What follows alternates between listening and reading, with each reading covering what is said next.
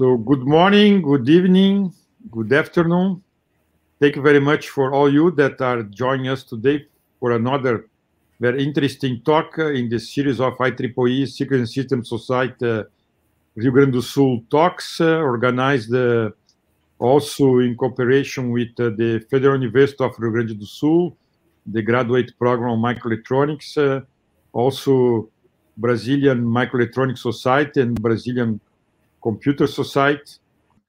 But we are here today to attend uh, this uh, very interesting subject that will be uh, uh done by Fernando Silveira, wearable medical devices, sensing and powering from a distance. And Fernando Silveira received the electrical engineering degree from Universidade da República, Montevideo, Uruguay, in 1990 uh, and the master and PhD degrees in microelectronics from Université Catholique de Louvain uh, at Louvain-la-Neuve, Belgium, in uh, 95 and 2002, respectively. He's currently a professor with the Electrical Engineering Department, Universidade la República. His research interests include the design of low-power analog and RF integrated circuits and systems, in particular with uh, biomedical application. In this field, he has co-authored one book and an upcoming one, many technical papers. He had uh, he has led multiple industrial activities, including leading the design of an application-specific integrated circuits for implantable pacemakers and design an analog circuit modules for an implantable device for various companies worldwide, field in which he continues to do consulting. He was member of the technical advisory board of Getronics in USA from 2006 to 2010. Received the Engenheiro Destacado, Distinguished Engineer Award by the Uruguayan Association of Engineers in 2007, and was a member of, for 2011-2012 of the Distinguished Lectures Program of IEEE Circuits and Systems Society. So this is just some uh, few achievements by Fernando Silveira. He has much more but uh, considering that we are here and today, many to attend his talk, uh, we stop uh, here talking about him. Uh, so, Fernando, thank you very much for accepting our invitation, and the floor is with you to start your talk. So, I also would like, before giving the floor to Fernando, to ask to everyone that is attending this talk to put uh, the name, uh, the institution, and where you are now, because uh, for us it's very interesting to see where are each attendee. And as you saw in past talks, normally we get attendees from many locations around the, the world. So please uh, include your name, uh, institution, and where you are in the chat channel of the YouTube. So thank you very much. And uh, so, Fernando, now the floor is uh, with you. thank you very much, Ricardo. Uh, hello, everyone. Uh, I, I, want to congratulate you, Ricardo, for this uh, amazing set of webinars that you are organizing in, in, for the for the goodness of our community. And uh, I'm very happy to, to be here. And thank thank you a lot for the for the invitation. Okay, so uh, uh, these talks uh, to, in general is about what we may call wearable health monitoring.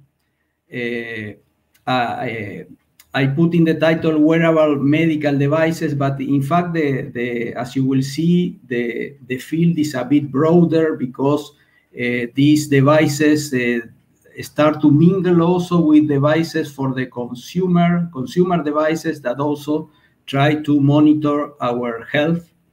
And, and at the, in the long term, I would say that the vision is to be able to monitor health in a, an imperceptible and continuous way. Some, some researchers some, some time ago uh, translated this, this vision perhaps in this, in this drawing where we see this grandma, let's say that she she's monitored with different kind of, of, wearable devices and even devices that are embedded in, in her daily use uh, objects. And when she wants, when she goes to, to check her, her hair in the morning, let's say, in the mirror, uh, she will have a complete uh, report of her of her health state. So, so, so that that the kind of, of let's say of, of dreams that that we have, uh, uh and also the dream is that uh, everything is even much more uh, unnoticeable and much more unobtrusive for the user than what we see here. Okay, so what what are some of the challenges to to be able to to fulfill this? Uh, a clear first challenge is what to sense and how to do it. That is a problem that uh, I say medicine has, has dealt with it for forever. And that in terms of, of the of the community of control systems, we may say that is an observability problem.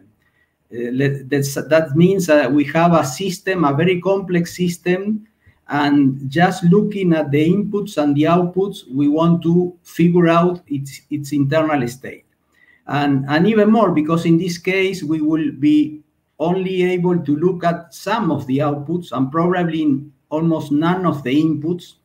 So uh, this is a hard problem. Uh, on the other hand, we want to do it uh, wearable. That means that is, of course, non-invasive, and it is a very small size. And that, as we will see, is linked with power and energy. Okay, as a circuit and systems uh, community, we we enter in this in this problem certainly uh, to to take advantage of, of technology and the advance of technology. You know, and here we see a depiction of the advance of technology in the ECG uh, field, where we see starting from something that is very bulky and the people even had to put their hands and feet on a on a bath on a, on a, on a yes on a bath with salt in order to, to be measured to things that are very portable and wearable as, as we will discuss and this is of course is uh, fueled by the by the advance in in in microtechnology and nanotechnology that we we all know. So uh, the second challenge, as, as I mentioned, that I will try to cover is the, the problem of energy usage, usage and, and particularly of energy delivery, how, how, how we can uh, give these devices the deliver for them to function uh, perhaps uh, all the time and uh, without interruptions. And, and this is also a, an issue that has contact with also with what happens in the implantable devices field. So there I will mention a little bit also about the implantable devices field. Okay, so so the, the outline of the talk is first to talk about the, the sensing issue. And there uh, I will take the example of blood pressure monitoring. That is an area we have worked in the, in the last years uh, with a very good uh, PhD thesis from Germán Fierro. And uh, then in the second part, we will we, I will talk about the powering issue, also with work related to, to another PhD thesis and, and, and further work, and also I will try to cover some some example from from the, the, the research community in general.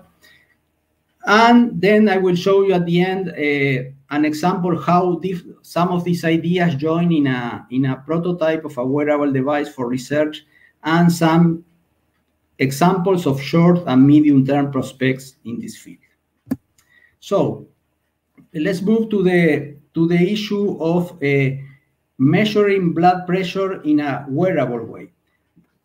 That means to measure it cuffless, which which refers that we we want not to have to use this cuff, the device that, no, that our doctor or nurse puts in the in our arm in order to, to measure blood pressure that uh, uh, makes pressure on the arm and, and occludes the, the, the blood flow so that you can hear or detect in some way the moment where the pressure is equal to the to, to your blood pressure essentially Uh, we don't want that, and uh, ideally, we want things like this, this that was depicted in the Circuit and System magazine recently. Now we want something very small that uh, that give us all the information. Okay, uh, maybe it's, it's, not. I think it's not even necessary to to stress why uh, it is important to to do this continuous blood pressure monitoring uh, but let, us summarize it very quickly. Uh, as you know, as you probably know, uh, for example, the World Health Organization and among others have called hypertension as the silent killer because it's a, it's a health issue that may give almost no symptoms and when you realize that you have the condition, uh, you already may have damage in, in some of your of your organs. So uh, it is important for all the population to, to prevent health risk of, particularly of cardiovascular diseases, but also, for example, for, for pregnant women, uh, um, an important percentage of pregnant women have a alteration of, of, of blood pressure during pregnancy, and that must, be carefully uh, monitored because uh, otherwise they could give rise to very serious situations.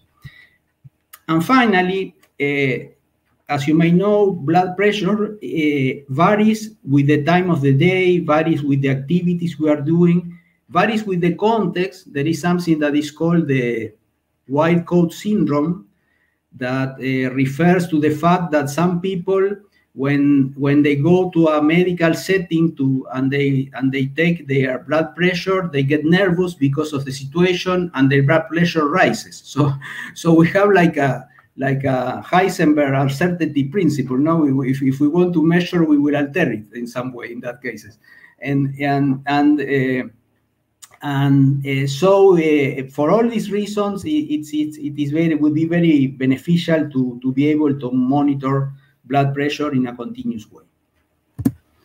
So uh, how may we do that?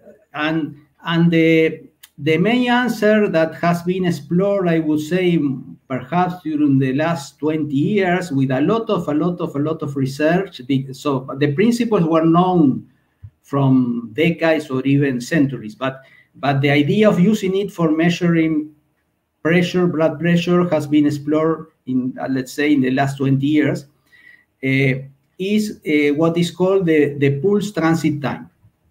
Uh, when the heart pumps blood to the arteries and this and this this uh, blood goes moving along the, the arteries there is a, a pressure wave that travels through the through the walls of the arteries that here is depicted advancing through the through the arteries and and this uh, this pressure pulse uh, we, with this in this with this pressure pulse we can define what is called PTT the pulse transit time the time that it takes the pulse to travel a certain length across the arteries.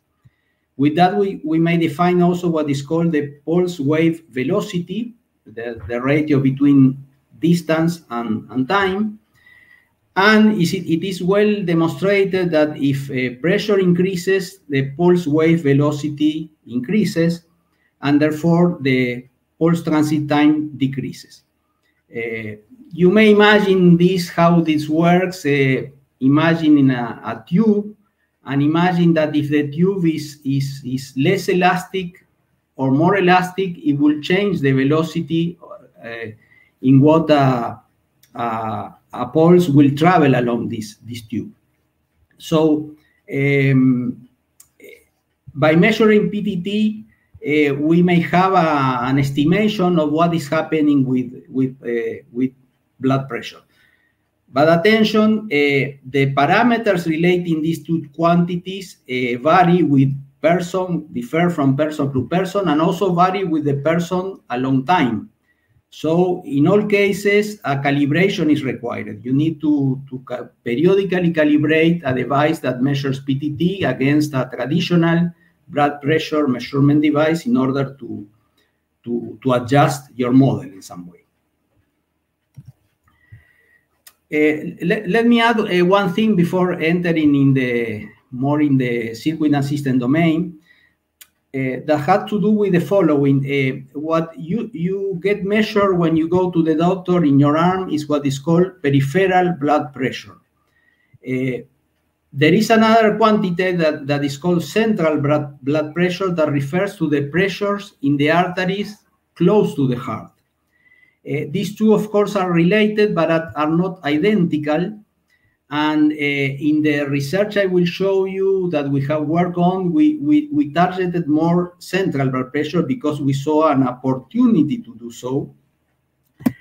And, uh, and there are some advantages of, of using, of considering central blood pressure.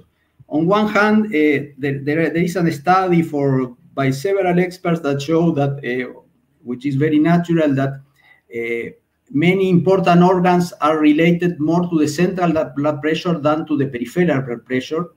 And some drugs act differently on central versus peripheral blood pressure. Uh, so it, would be very interesting to know, uh, all doctors I think would agree, it would be interesting to know the central blood pressure. The, the, on the other hand, uh, what currently is used in clinical, clinical practice is peripheral blood pressure, or the guidelines are for peripheral blood pressure. So uh, uh, moving to central also means, uh, like say, like a, like a paradigm change. But anyway, um, it is, as I said, it is interesting to, to be able to estimate.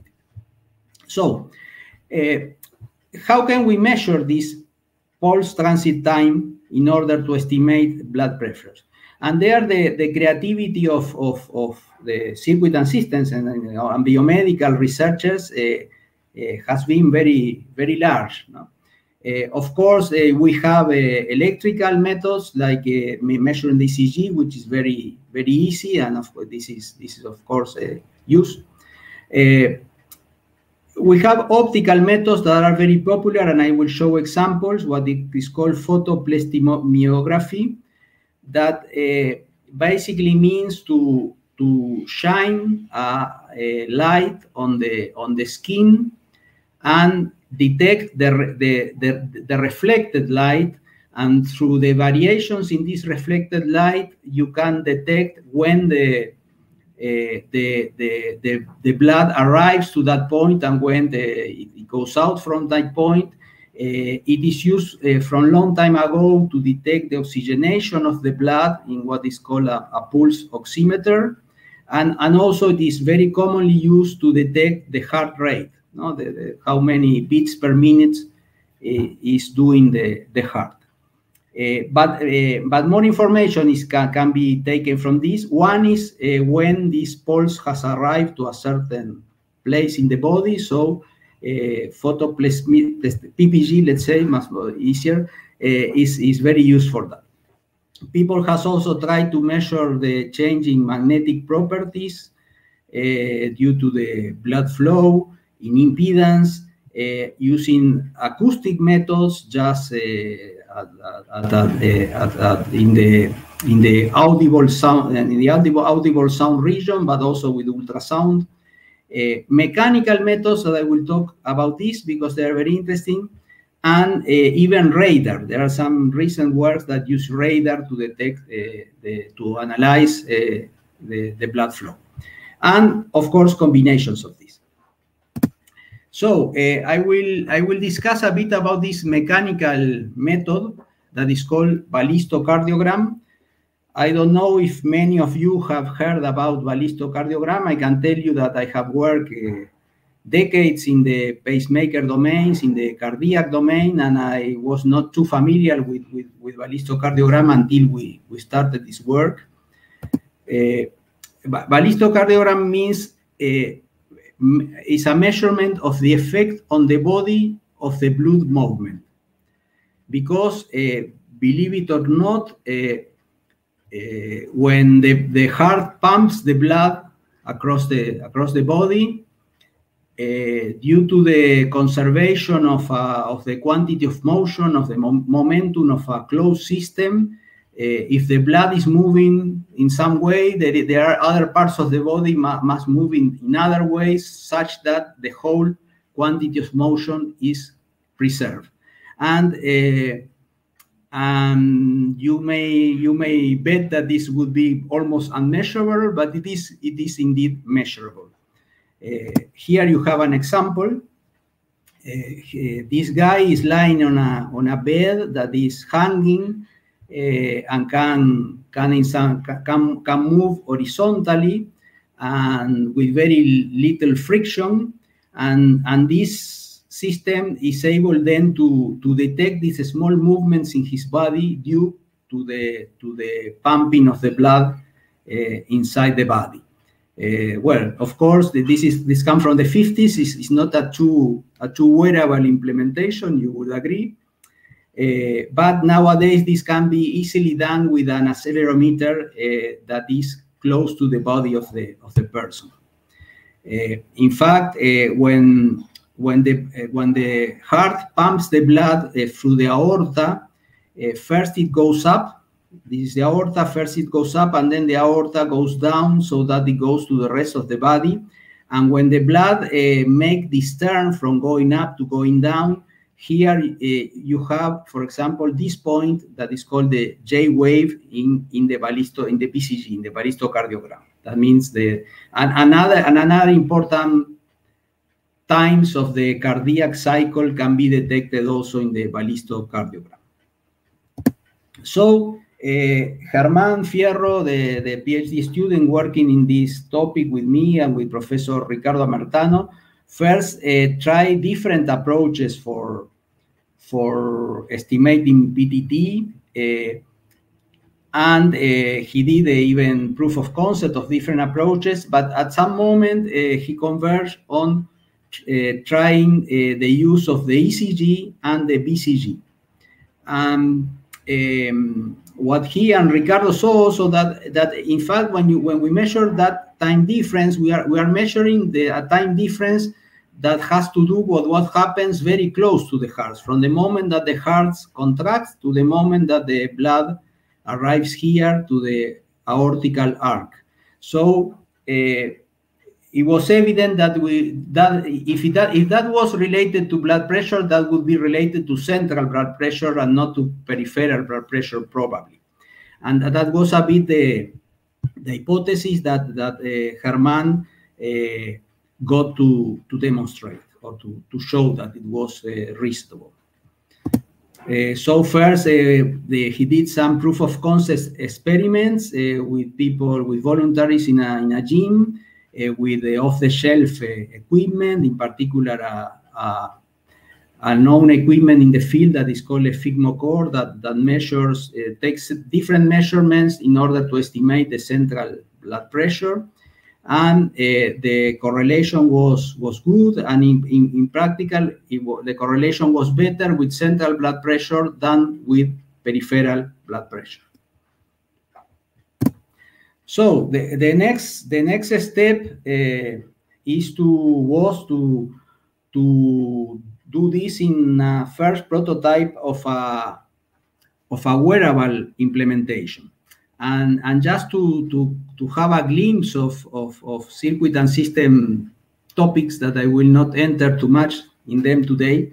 Uh, one thing that uh, we realize is that uh, if we, if, since we are trying to measure time differences, uh, we must be very careful that the delays that we have in the both signal paths, ECG and BCG, uh, are uh, in some in somehow comparable. Otherwise, we will be introducing an error in this estimation, and this could be a variable error, which would be a could be a problem. Uh, that in fact, this is an issue that not too many people in the literature we think uh, gives the the necessary attention to, to this point. Uh, so we, we try to minimize the phase shifting of these two, two waves. Uh, for that, uh, Germán used a very simple approach that was to realize that he uses a, a under-damped filter like the one in red that have some peaking here, which usually we try to, to avoid. But uh, if we use that uh, as a benefit, we have a very small phase shift and an almost constant phase shift, or, or, or small in any case. Um, and so he, he, de, he defined our filter so that uh, we have this situation in the band of interest from 6 hertz to 30 hertz, uh, which gave very good results. So here we have our pilot uh, test wearable system being tested by Germán.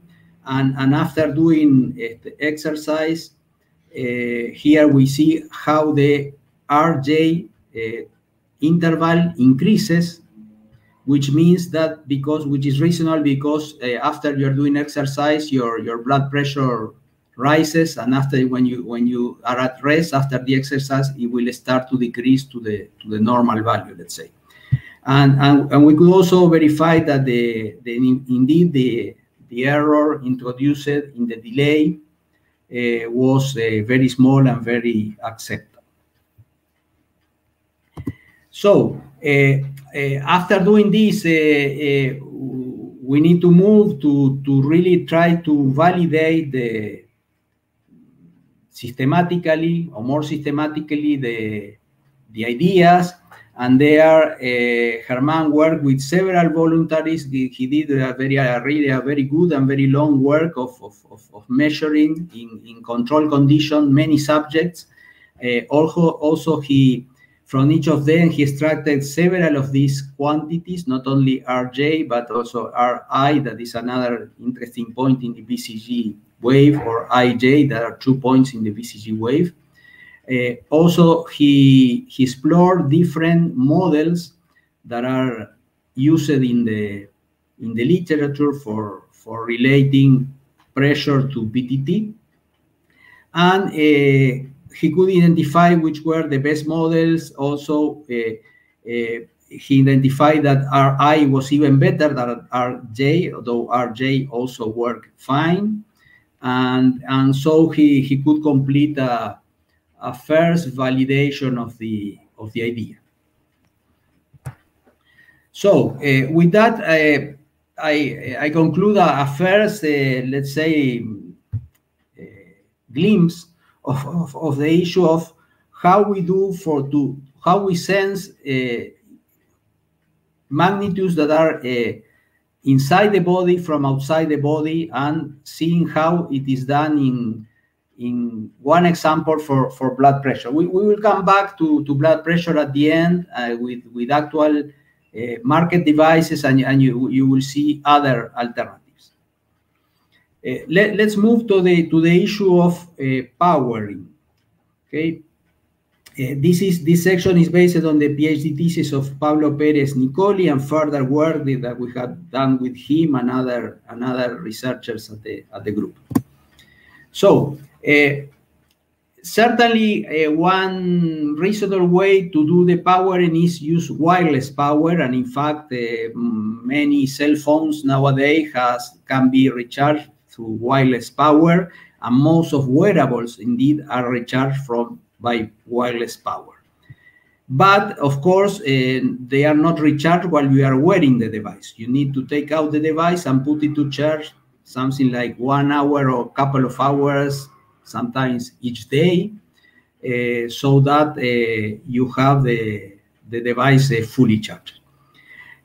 Another field that uses, in some cases, wireless power, and, and where you, of course, you cannot afford to to take out the device and put it to charge is implantable devices because the device is inside the body and you won't take it out for, for recharging. You, you need to recharge it while you are wearing it. Uh, this is applied in implantable in some implantable devices and uh, the, the patient, for example, a couple of hours each week uh, uh, gets a charger uh, with a coil that, that couples with another coil that is inside the device uh, and transfers usually in the order of some hundreds of milliwatts.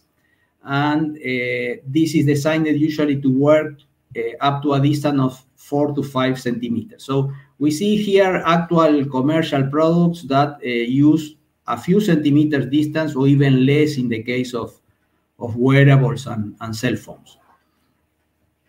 Uh, but also in, in, implantable devices, the, the need for, for having higher distance uh, has arise, is arising For example, in the very interesting field of what some people call bioelectronic medicines or electroceuticals.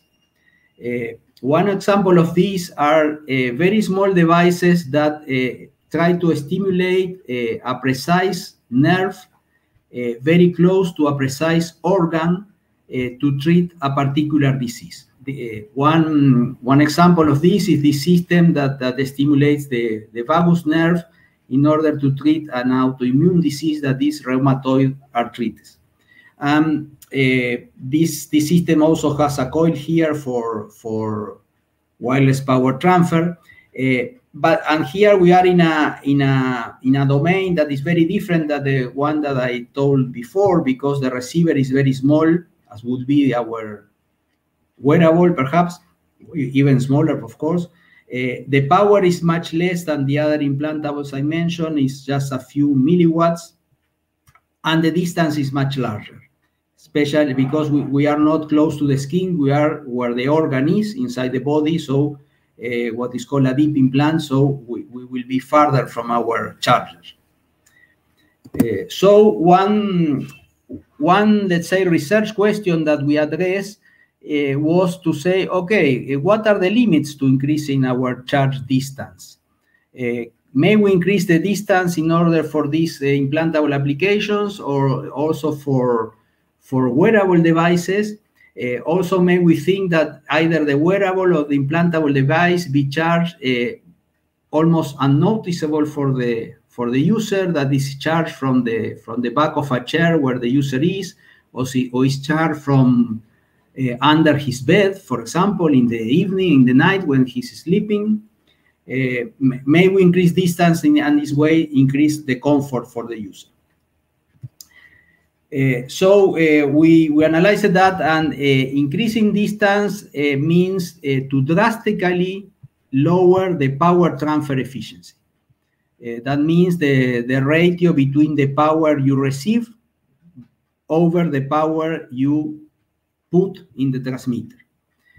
This is so because when you increase distance in, in, in inductive uh, coupling, uh, the the coupling coefficient, this is factor K here, uh, decreases uh, very rapidly. So uh, if we want to, to maintain the power delivered to the load, the power received, we need to increase a lot the, the transmitted power. If we may transmit as much power as we want, uh, it's clear that there will be no problem. The problem is, okay, but uh, we, not, we cannot uh, transmit as much power as we want. We, we must transmit power in a safe way for the user, but also for, for other equipment. That means we, we have risk constraints of electromagnetic compatibility, and we have constraints of uh, electromagnetic safety for the users and other, and other people surrounding the, the equipment. So uh, we try to analyze that uh, and we did it in this practical example where we targeted uh, a distance of 30 centimeters, uh, transmitting 5 milliwatts of power, which is not much, but you there are many low power devices that, that, that, can do a lot with that. And uh, working in the ISM band of 13.56 megahertz. Uh, our receiver used this uh, commercial uh, coil, flexible coil of 2.5 centimeters by 2.5 centimeters. And in the in the paper, we, we discuss uh, the design of the transmitter coil. We, we, can be shown that there is some, the optimum some way this one turn coil with a radius that is more or less the same distance that you, you want to, to achieve. And uh, we did a, a, proof of concept uh, experiment and we and also some simulations and, and we got that uh, you you get only 0.1% efficiency, power transfer efficiency. That means that to receive five milliwatts, you, you need to, to pump five, more, more than five watts, but it works. And uh, then you need to check what happens with MC and what happens with safety. EMC uh, using this ISM band uh, is not an issue in the carrier frequency. It's an issue of the harmonics that you are emitting, and that's related to the transmitter design. That is, that is something that we are working on right now. That there I cannot show you still final results. But, but the other uh, more even more important concern that we had was uh, electromagnetic safety. There we perform extensive uh, simulations using the Sim4Life software and, and this, this Duke heterogeneous model that takes into account the electromagnetic characteristics of, of different parts of the body, of different tissues in the body. And uh, the good news is that uh, for the conditions I mentioned, we are okay. We have a good margin. We, do, we don't have a huge margin, but we have a good margin. And the uh, specific absorption rates is well below the, the maximum recommended limits, that these limits, even the, themselves, they have already a margin, a security margin, a safety margin. And also for the whole body, specific absorption rate. So uh, this this have shown that that okay that that is interesting. That I mean that this this is a path that may may be viable, may be feasible. And just a small advertising, if you want to know um, more about this in the upcoming months, they will finally will get to the to the market is this book that Pablo wrote with, with me and also with the with a nice collaboration and, and and, and participation of uh, Maysam Ghovanloo, one of the well-known experts in the in the field. okay, so uh, so let's move to to how we put some of these and other ideas we have been working on together in a prototype of a wearable device, a research wearable wearable device. Okay, so uh, this this research wearable device uh, is was was organized as, as follows. Uh, we had an ASIC that was developed joining the ideas in various works and theses in the group that includes a wireless power transfer receiver, includes a battery charger, includes a DC-DC converter to, to power a sub-threshold digital circuit that it makes uh, as a works as a coprocessor, let's say, that makes all the calculations for the for processing the ECG and BCG signals for the for the blood pressure application that I have just mentioned. Uh, then we have a microcontroller with Bluetooth low energy and uh, we have the analog front end for the ECG and BCG signals is made from uh, off-the-shelf components. It's not it was not included in the in the ASIC. Um, and joining all these parts and designing also the, this version of the analog front end and, and the software, the firmware, and, and, doing the joining everything was was the work of an undergraduate graduate thesis that was that finished very recently, very well in in our group from Fatima Alves, Alvaro Rios, and Manuel Urquiola.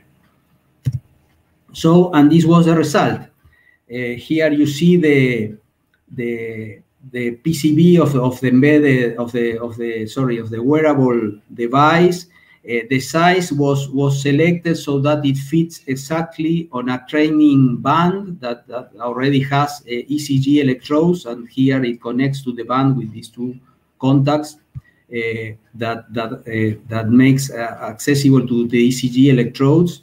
it has a 65 milliamp hour lithium polymer polymer battery.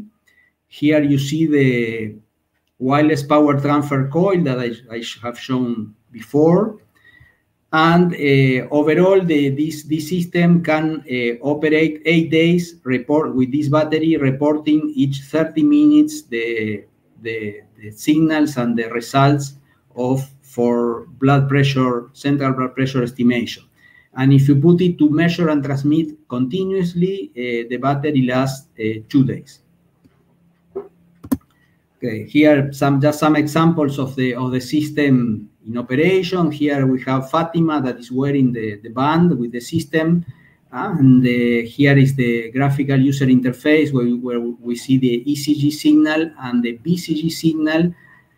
here we don't have auto scale, so the BCG signal looks small, but it's enough for, for detecting what we want to detect. This is before exercising. Here is the estimation of blood pressure and heart rate.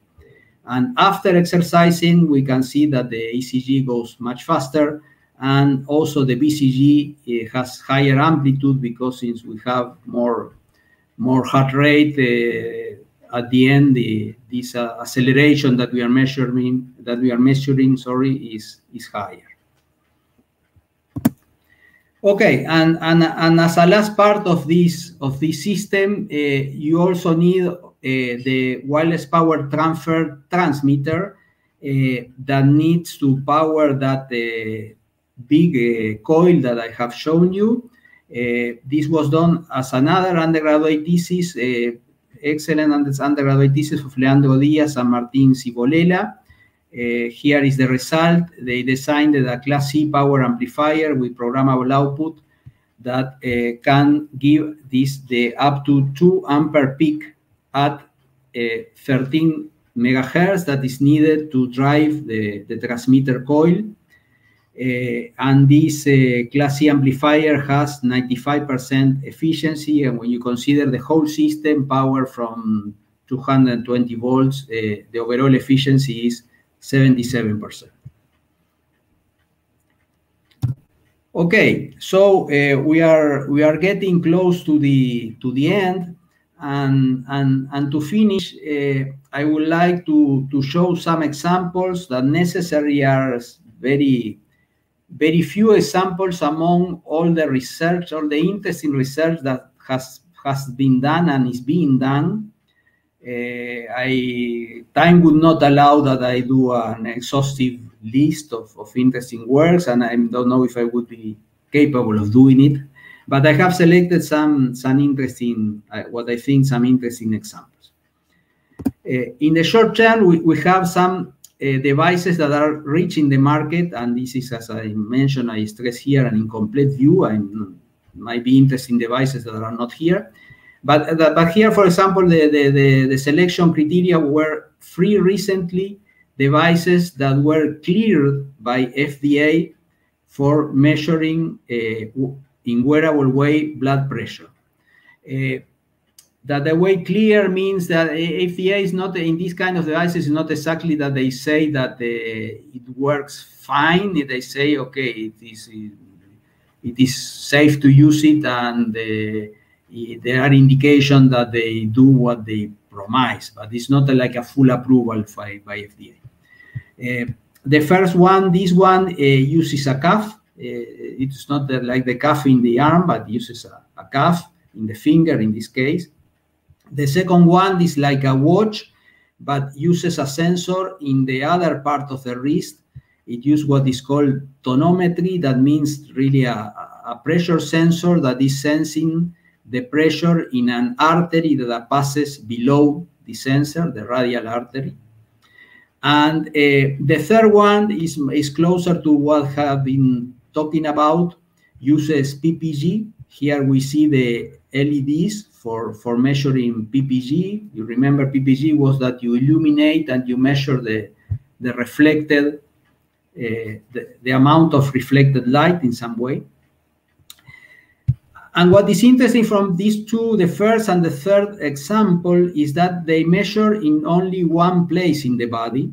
So uh, you may ask, okay, if, if, it is PTT, how you know PTT if you only measure in one place? Okay, here there is a, another interesting thing for us uh, electrical engineers in many cases.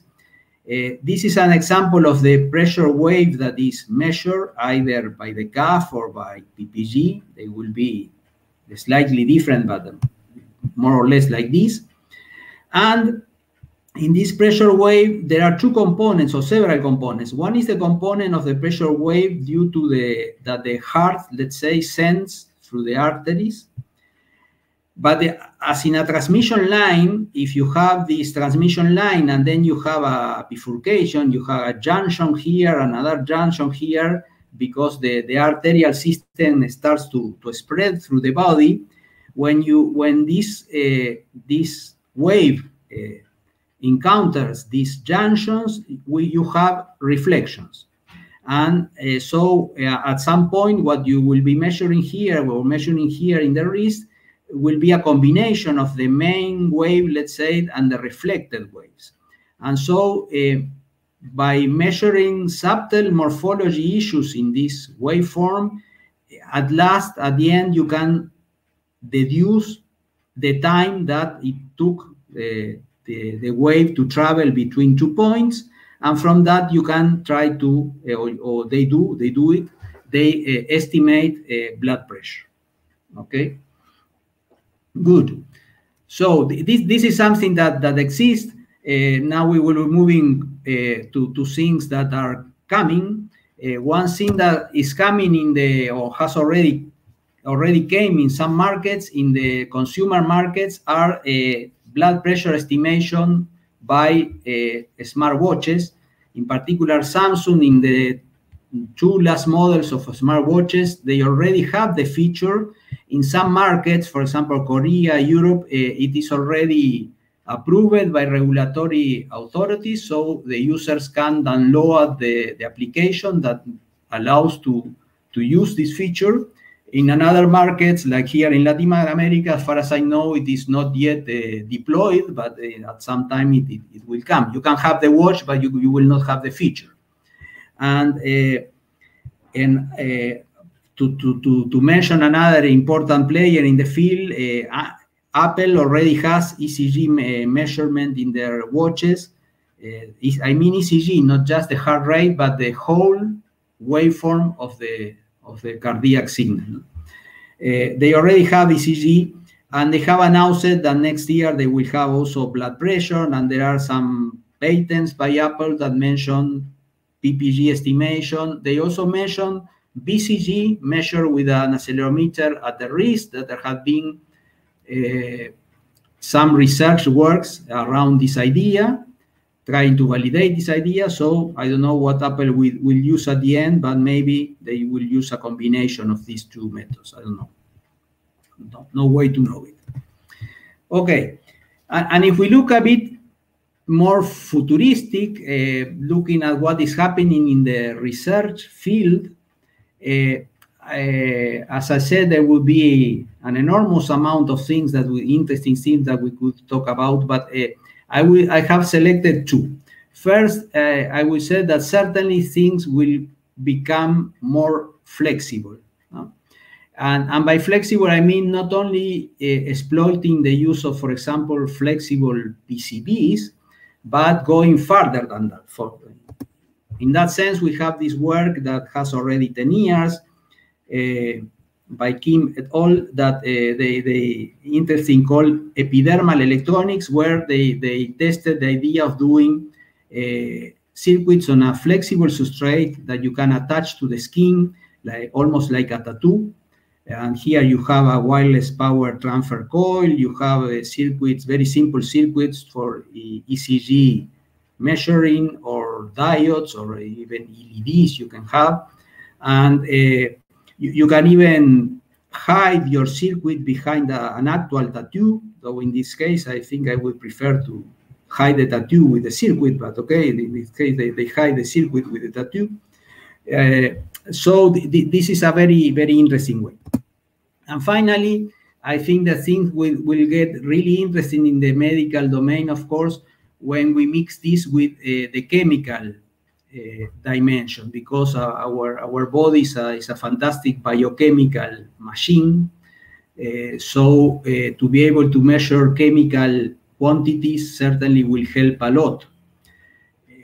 chemical sensors, as you may know, have the issue that they usually they, are, they have a, a short life uh, you need to replace them. They, they, you, they, they not, they, there's a chemical reaction involved and this cannot go on forever. You need to, to, to do something to, to, to reset the sensor in some way or to change the sensor. Uh, but anyway, if you have this in a tattoo or in a band-aid or something like that, that would be certainly interesting. And um, here you have a, a, view of what things we could exploit and you could use a analysis of your tears not not very not very nice but okay. Uh, you can analyze a wound if you have it perhaps to know if the wound is healing okay. You can analyze breath. You can analyze blood if you have access to blood but the, the suppose you don't have access to blood. You can in that case analyze what is called in, interstitial fluids. That means the fluid that is uh, between the cells below the skin. And in fact, this is already being used for by glucose uh, monitor systems that they, they access this fluid by a very small cannula, by a very small tube. And it is, it is helping uh, people with di diabetes a lot these days. Uh, you can analyze the saliva and one that is very promising, in my, in my opinion, is to analyze sweat because uh, any wearable thing will be in contact with our sweat. And uh, if that helps to, to identify interesting things, that I think that would be very useful. And in that sense, just to finish, this is an example of a, of a research that tries to do the dust sensing in, in sweat with some flexible uh, sensors that, uh, that have ion sensitive electrodes to different substances, different, different ions, and even glucose or lactate. And uh, in this case, they have a very small battery that is in the other side, in between the, the strap and the and the body and the wrist. But uh, but anyway, it is a it is a nice uh, implementation, flexible implementation of, of the device here are some results that they, they include in the paper. And a, a, a funny, a fun, a fun fact is that uh, when I first look at this paper, being a ultra low power guy, if, if, the, if there are power data, I, I'm always interested in the power data. So I look here in this graph and I saw, oh my God, 200 watts, 300 watts uh, they will burn the, the wrist of the of the person. It's, it's not possible that this is the, the power consumed. But when I read the paper, I, I, understood that this is not the power consumed by the circuit, but is the the power of the work that the people doing the experiment is doing. For example, riding a, a, a bike like in a gym or running like in a gym, uh, in a running machine. And, and this is the, the, the power that is degenerating in order to generate a lot of sweat and be able to measure all, all these quantities. So, so that, that's a, a, fun, a fun story. Okay, so uh, that's all on my side. Uh, to finish, I, I, would like to acknowledge many people that make possible that today I'm talking about these things with you, all the members in the microelectronic groups at Universidad de la República, in particular the team that work in the in what we call the i3 project that has to do with these wearable developments the, the besides the, the, the, the, students working in the PhD thesis, several other uh, colleagues and students.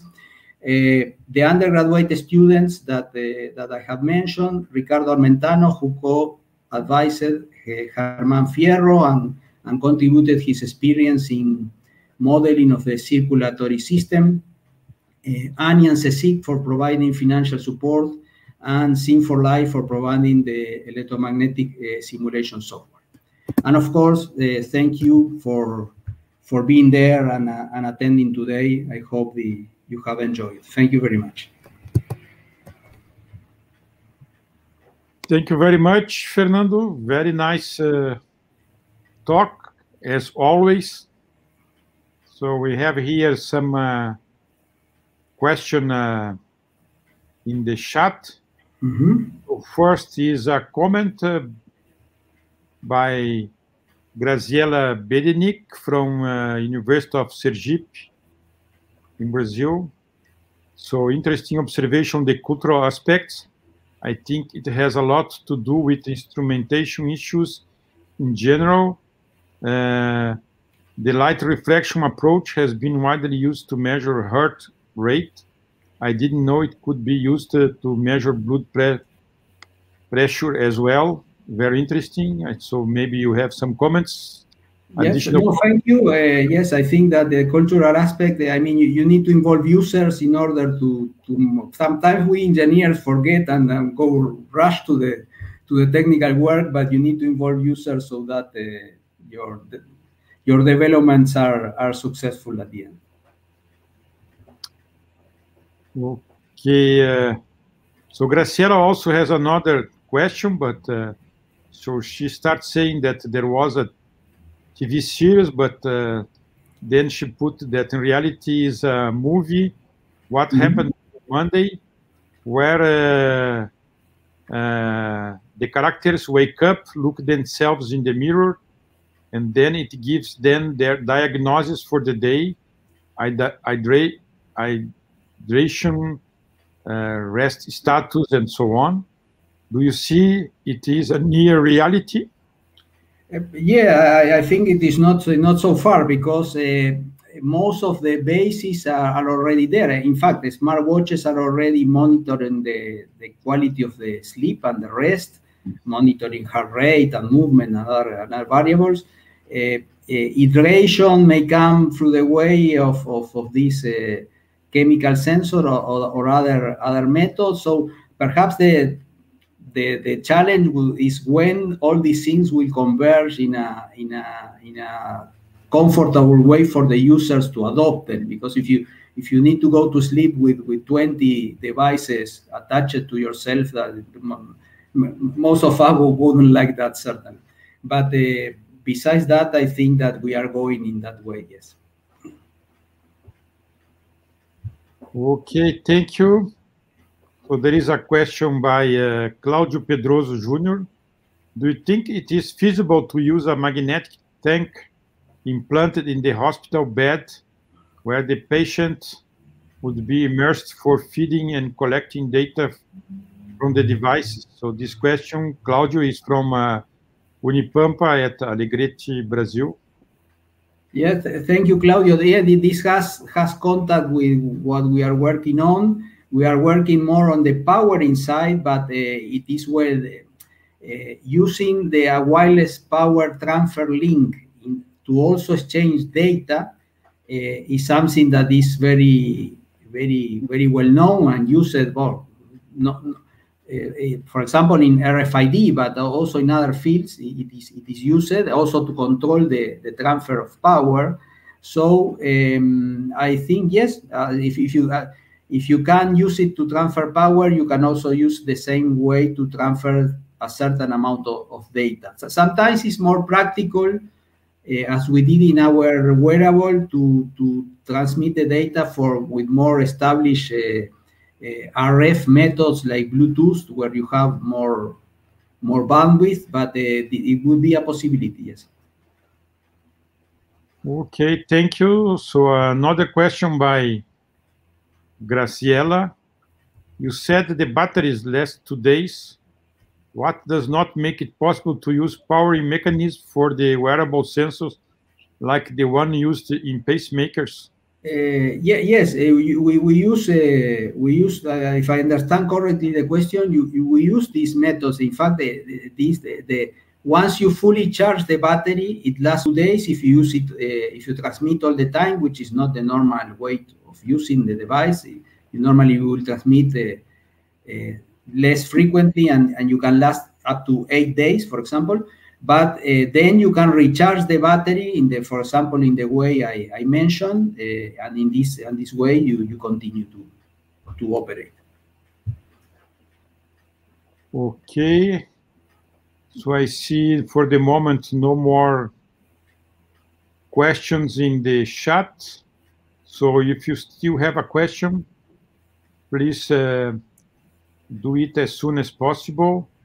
So Graciela is also thanking you for the nice talk, Dr. Fernando. This is definitely a subject with a lot to explore. It was very interesting. Thank you. Thank you for, for attending. Yeah. So, but, uh, so I have a question. Uh, mm -hmm. So, uh, in one hand, uh, nowadays we are using uh, uh, ultra low power circuits to cope uh, mainly with uh, the implantable devices where uh, we want to, to use uh, to get energy harvesting and so on. So this is a very important issue to avoid changing batteries like uh, old pacemakers, things like that. But uh, on the other hand, using ultra low power devices, uh, how we can cope with the radiation effects we see nowadays uh, in the even at ground level, where uh, the, the, the, the secrets that uh, are ultra low power sometimes are more sensible to this radiation. Yeah, yeah, it, it, might it might be the case. It might be the case. In fact, we here in this system that I have shown, we, we use the this digital co-processing in subthreshold. Uh, that might be more sensitive to radiation effects than if you do it in the standard way. And so uh, it, it's a it's an aspect that we didn't study in this in this system. It, it was not this processing was not, uh, let's say, not this was not a life support system, for example, where this becomes very, very important. Uh, so we didn't um, uh, study, but I think yes, this is an interesting, an interesting point to to take care of certainly. Yes, uh, there was also a, a question here by Nora Hamad Almari from uh, London mm -hmm. University College when the next book will be out? Uh, well, we are we are struggling with the with the publisher because he, he's promising every day that it's already there. But uh, no, they say that uh, I mean they announced it September, but they say the ebook version should be out in the next weeks. That that's what they are telling us. So, uh, to, the latest I would say would be September. So, which will be the publishers? Is Springer. Springer, okay. Uh, they should cope with the promise. so another question by Luigi. Which uh, UC have you used? Uh, it's a it's a Nordic microcontroller that includes Bluetooth. I don't remember the name. It's NRF uh, 52 something, but it's, it's a Nordic microcontroller. Okay.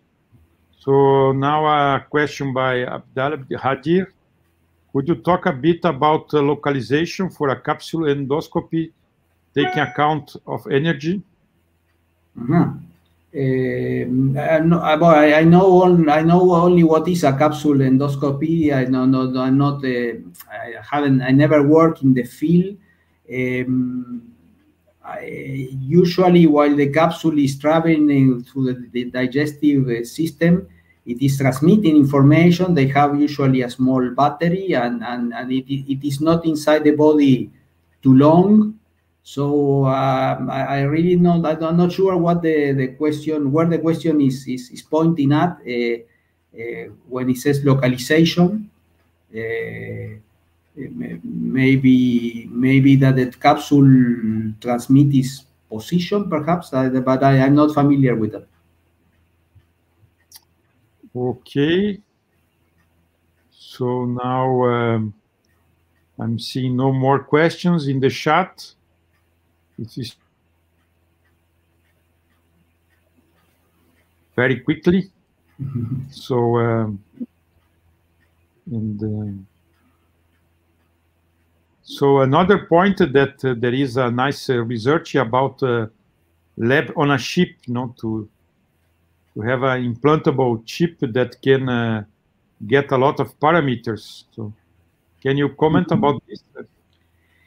Yeah, I, I, I also haven't worked directly on that, but it has a lot of it has a lot of points in common with what I, what I shown at the end about these these chemical systems and what you see is that there are a, a lot of uh, a lot of work around there. Uh, maybe they, they are uh, they are more in in many a community more in the chemical side, more sometimes in that in the circuit and system side, or there are people also from from our community. Uh, so yes, I think that is something that is uh, advancing and uh, and I think that we we start to see things like that. For example, the use of, of microelectronics to sequence DNA that is not the same as a lab on a chip, but it has some perhaps some points in common, uh, is something that that, that that that evolved from being a research idea to being used now currently in, in products and in, in bio, biological labs. So, so I think that yes, we, we certainly will see that, that things coming. Okay, thank you very much. I can see also several congratulations to you for the very nice talk. The last one, from Everton Capelati, here oh. from uh, Rio Grande do Sul. Uh, dear Fernando, thank you very much for your talk. Congratulations to you and to all your team at uh, Universidade da República. Thank you, Everton. We know him. We know each other from, from a long time, and it's a, it's a pleasure to hear from you again. But there is also now a talk, uh, talk a question mm -hmm. by Julius Saldana. More traditional ECG systems, there is a driven right leg circuits to reduce common mode noise. Is there something similar in wearable ECG? Uh, as far as I know, no, uh, we didn't use it. Uh, in fact, the reason is that uh, uh, in traditional ECG systems, in particular, when you are um, well, we are you are measuring from points that are farther apart than the two points in the chest of the person, but also usually you are connected to the mains, to the you know, to the for power, and and all this makes that the uh, mains uh, common mode uh, in interference is much important that in a in a wearable device. In, in this in this wearable device, what, what we notice is that the the amplitude of the ECG is much smaller than in a traditional ECG because the contact is not so good as in with with the professional ECG electrodes. But uh, you need to amplify more, but you don't have these problems of of common mode noise. And and for for the purpose you as you saw we you get very very clean signals. We we, we filter them uh, uh, a lot. We, we have a um, a small bandwidth, but uh, but doing that, you you have very very clean signals. Okay, thank you very much. So um, I see no more questions. So, but before closing the session, I'd like uh, to show you uh, some uh, information about uh, next act activities but I'm seeing that there is a new question. So, mm-hmm. Kelton da Rosa Severo, is there any possibility of making a device capable of being charged by the patient's own body? For example, harvesting kinetic energy from uh, the body movement, like some mechanical watches? Okay, it's an interesting question and a very reasonable question, I would say. Uh, I think that possible it is. There are some. There have been many research works in that direction. Uh, as far as I know, there are not systems that work so, solely on that. Maybe you could use it as a as a complementary energy uh, source.